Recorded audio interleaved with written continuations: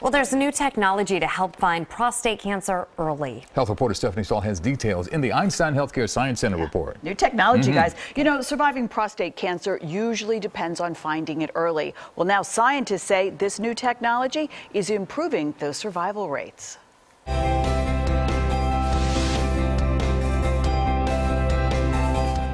For years, doctors have used MRIs to identify suspicious parts of the prostate.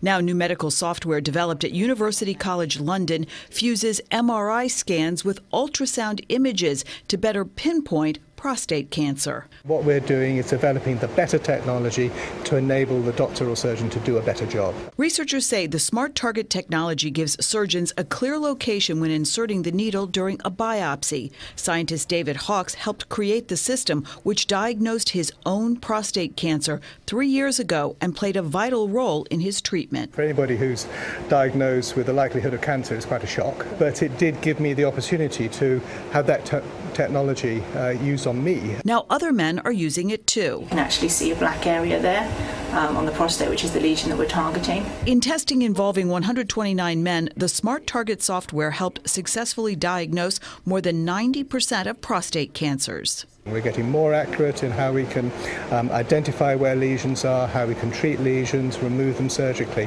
Um, so it's an ongoing process. Researchers hope as the process improves, so will survival rates for millions of men.